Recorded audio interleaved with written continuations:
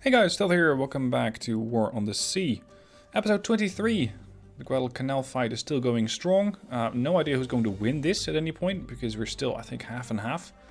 Currently, my bigger concern is the Rennell Islands. I have a convoy heading that way.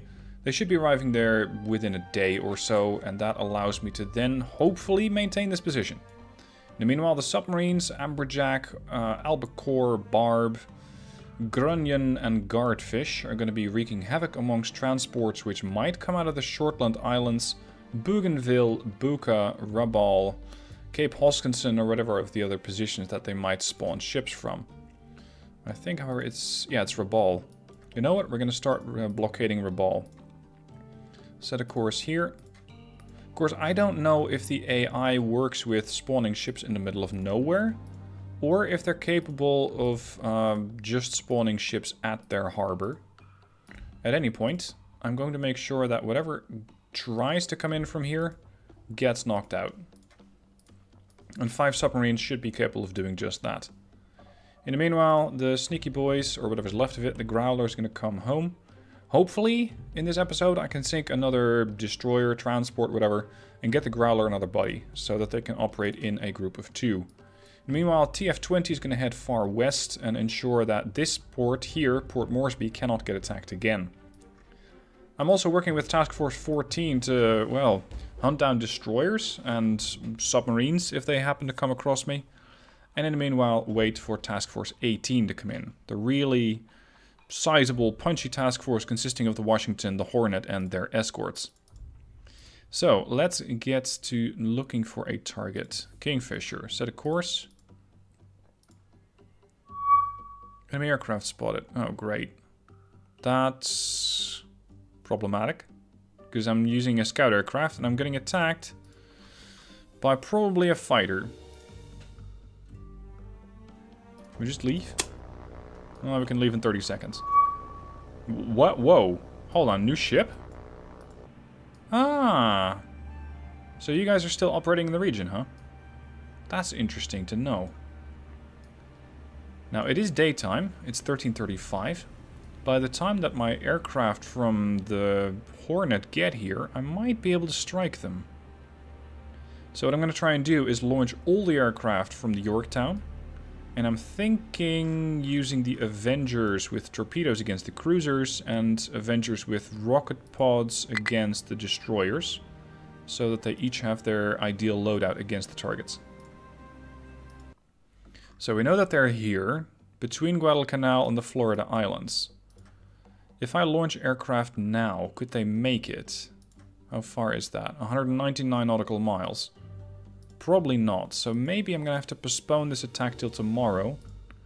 Otherwise I won't be able to get my aircraft out there and back.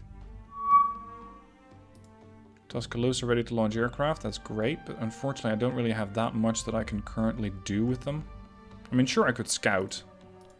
Scouting is always good to do, so let's send up the air wing. Well, I mean the one Kingfisher. And just do a scouting run here. So I need to know where slash if these guys are coming out. Bonefish and Cod are going to maneuver their way towards the position where the cruisers were last seen. So I might be able to find them there. Enemy aircraft spotted near Guardfish. That's all the way over here, next to the Shortland Islands. Oh, I have to begin? Okay, fine. Um, let's not go to 500 feet. That might be a bit much for this hull. Just dive. Can we already leave? Because I'm not looking forward to this fight. There's just not that much that I can do against an aircraft, nor they against me. Well, that's not strictly true. They could try and launch depth charges at me. Goodbye. Okay. Ah, it's 1659. It's too... Well, it, hmm. Screw it, we're launching. Uh, launch aircraft from Hornet. Why do I only have half an air wing? Oh. I have a full wing, but I can only launch 12. Got it. Um,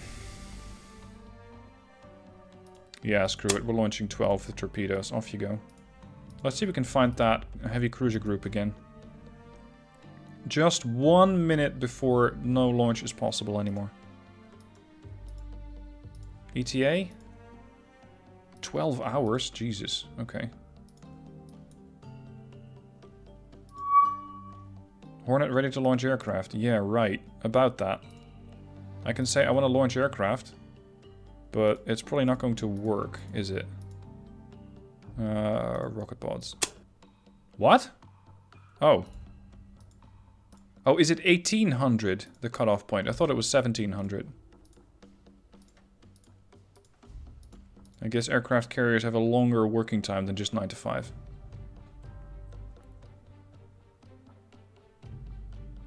Now, are they still out here?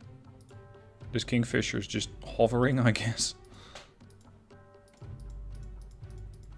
I just hope that I don't encounter any fighters here. An aircraft spot near Guardfish. Again. That's the submarine again. They're going to keep launching from the Shortland Islands, aren't they? And I have to start it too. Fine. That was another sort of no-show encounter over there. Okay. Where are your cruisers at? We saw them heading in this direction. There they are. Enemy ship spotted near the Avengers. Excellent. Go. Now, it's going to be a bit of a sizable attack, but I'm going to use six Avengers against one ship. The main targets are the cruisers. That's really the only thing that I want to hit. Um, four, five, oh, and the Kingfisher. No, I don't need the Kingfisher. There. So two flights, we're going to attack the cruiser. Enemy ship spotted. Are you... Okay. I guess they just departed? From, what is that, Florida Islands? Maybe. Now, we're going to have one group come in from here, and the other group come in from here. And I want a formation of uh, all of these guys in a... Not a line ahead, please. Just make it a Vic. 7, 8, 9, 12, 11... There we go. Form up in a Vic. Because that whole line thing does not work very well. I could go line abreast. But... Actually, that might be better. Form up. There. Same for these guys.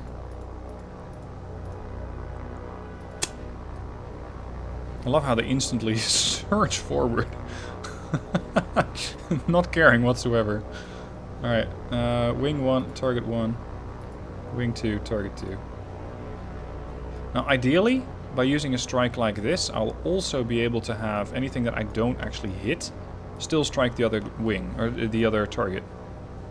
I just think that we're going to be doing a few loops going down. Yeah, see?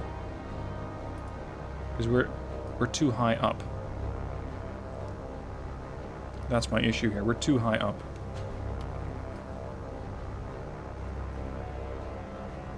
Look at this, though. Oh, that looks good.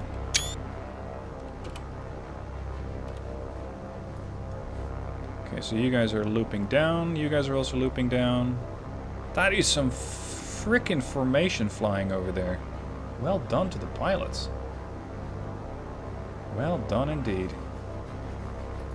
Alright, how high are you guys? 1700 feet. You're gonna have to do another loop probably.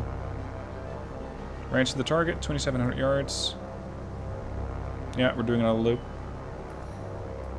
You guys, altitude 30... no, uh, 800 yards. The thing is, your position is not great.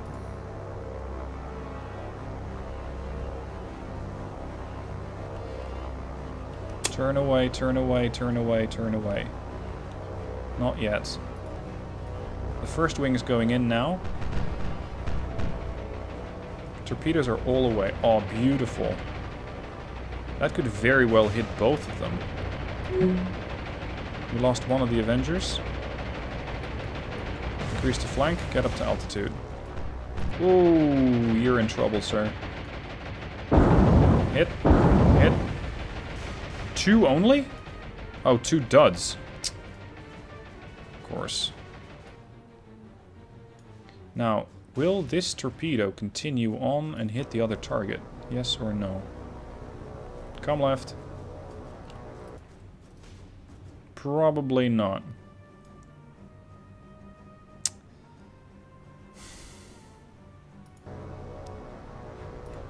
Eleven and twelve form up line abreast. I want you guys to hit the other cruiser again.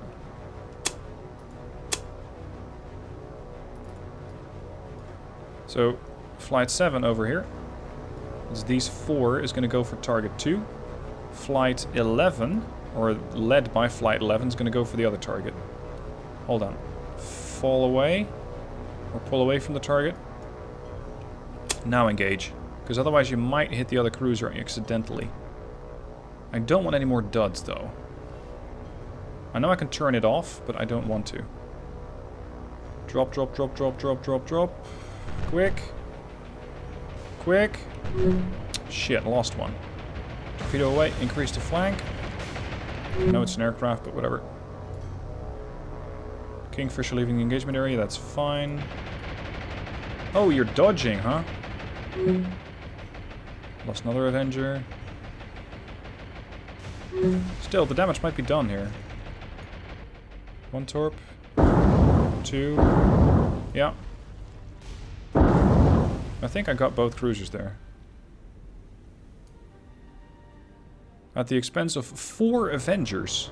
Yikes.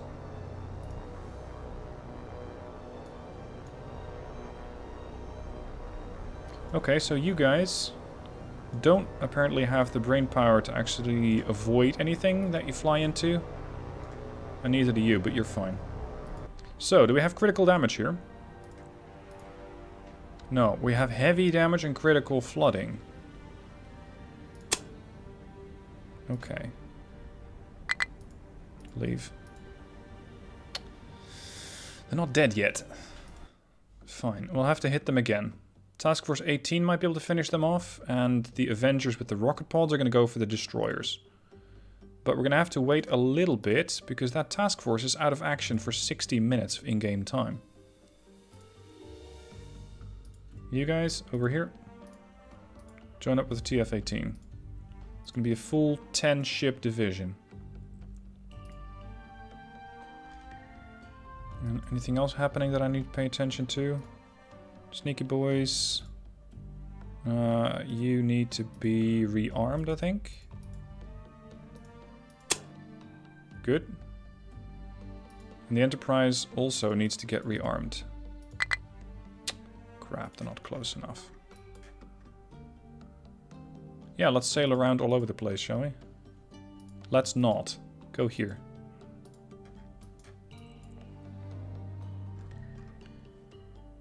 Now, I think we're almost at the point where we can... There we go. Hello again. TF-18 is going to attack them, but maybe the Avengers are close enough to lend some assistance. Lend a hand. Yep, they're here. Good, so the Bonefish and the Cod can take out the cruisers, and then the Avengers can take out the destroyers. Maybe I'm going to use the Avengers first to ensure that the destroyers don't pose a threat to the submarines. So let's have a look. Uh, one, two, three, four. Yeah, play you. One, two, three, four, five, six. Vic, form up. 8, 9, 10, 11, 12, 13. Vic, form up. And then Kingfish and... No, not Kingfish and Avenger. Uh, Bonefish and Cod. Line up. Line abreast.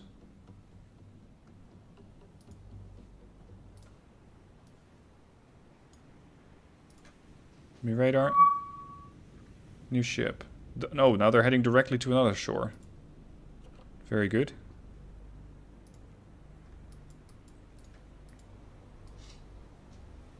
Status? Heavy damage. The other one's not looking too happy either. What's the range relative to the, the ships here? Hmm. 14,000. Okay, that's going to take a while. Good. Let's have the Avenger flights come in. One here. One here.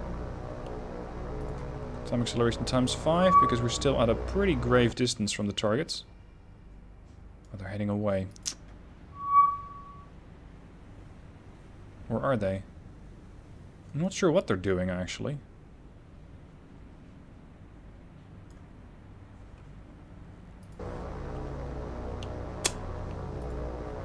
Target 2 is a destroyer.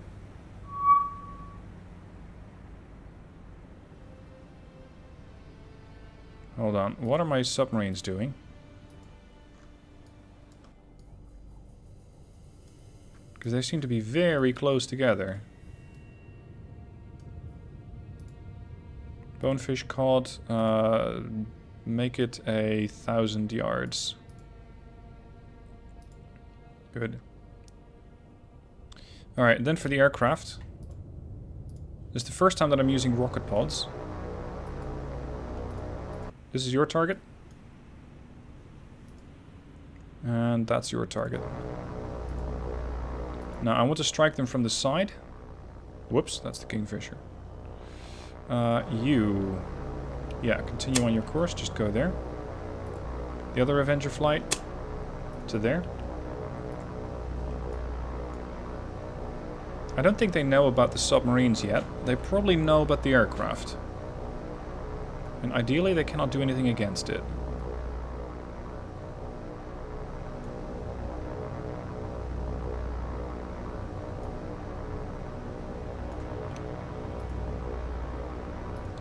Um, let's go lower, make your altitude about 800 feet.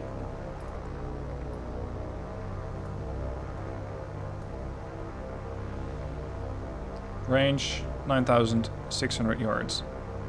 Altitude 2,800 and dropping quickly. Good. Because we need to be almost, I think almost water level or water line to enable this attack. Or to affect this attack. Yeah, fine, go to 490.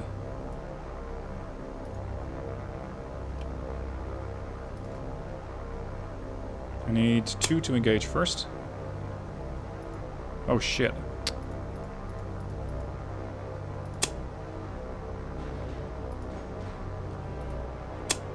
Oh. Okay. With rocket pods they all go solo. Right. So organizing the wing doesn't really matter that much. There we go, they'll go solo. You can see the rocket pods under the wings there. I think this cruiser might be dead in the water. This cruiser's still making speed, but not a lot. Good. We can intercept them and kill them. Now, you are about to be subjected to a whole lot of rockets. This is World of Warships all over again, isn't it? Rocket pods against destroyers. This is kind of why I stopped playing that game. I think we're going to see target 2 and 3 get attacked almost simultaneously here.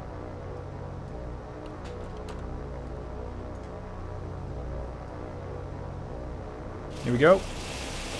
Oh, wow.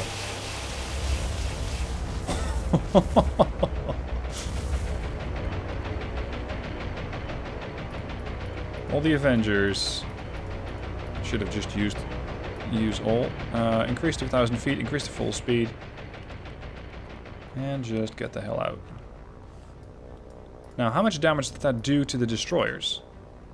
Minor damage. And minor flooding. Really? But heavy damage against the other destroyer. That would probably be you. You know what? I could strafe him. It's slightly unorthodox, but I could strafe the target.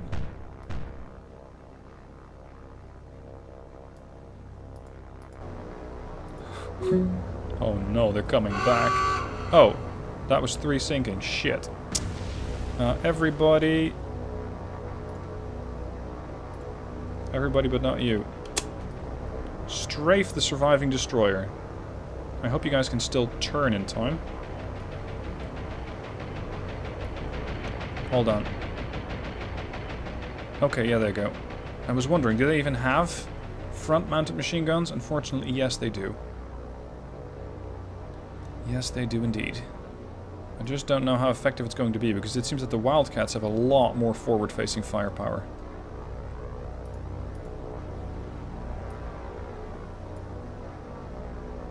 Let's slow everybody down. Do another attack.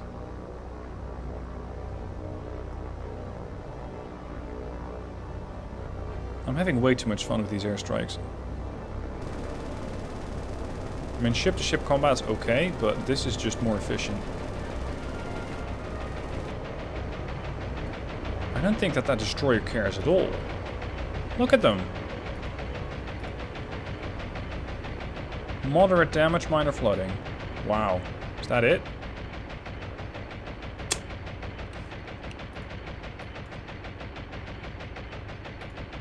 Everybody, get out. Uh, switch all, don't form up.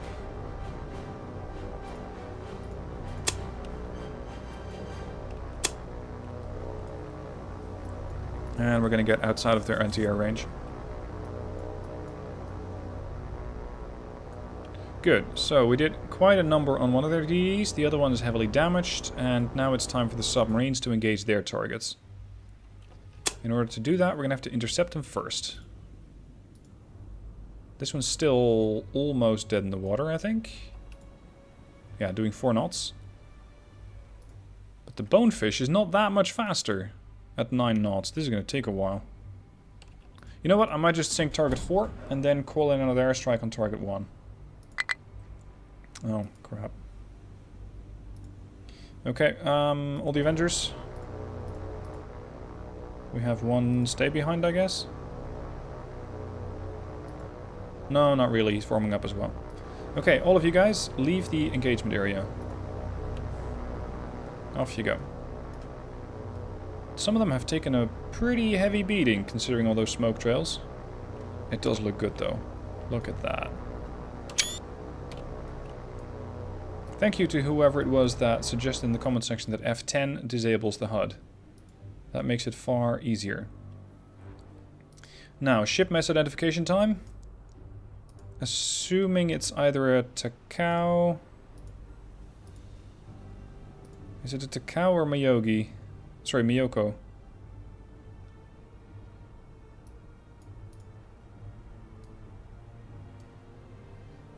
Hmm... Assuming Miyoko class. I'm going to say target 4 is a Miyoko class. Target 1? I think it's the other one.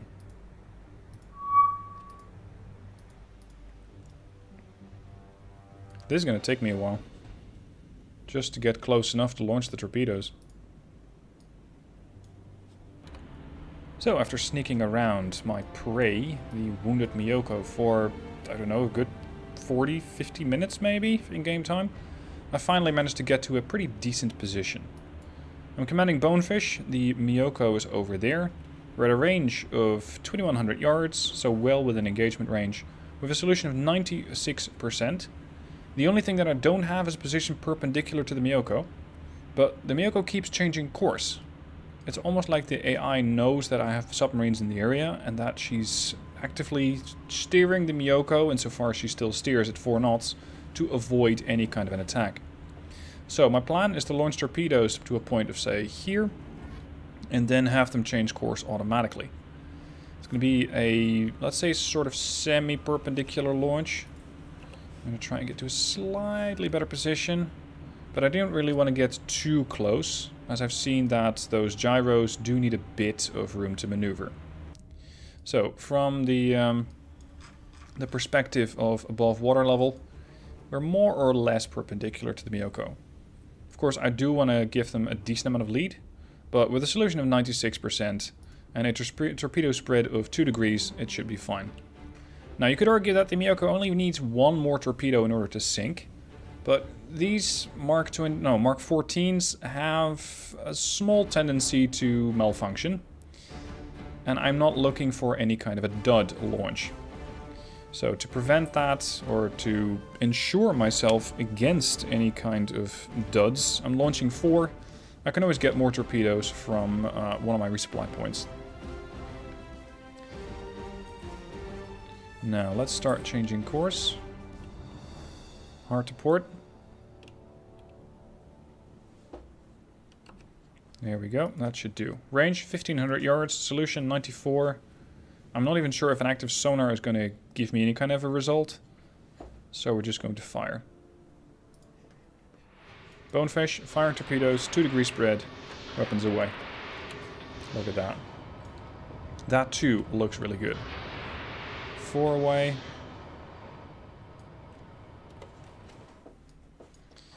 Now, watch these things magically change course after the gyro kicks in.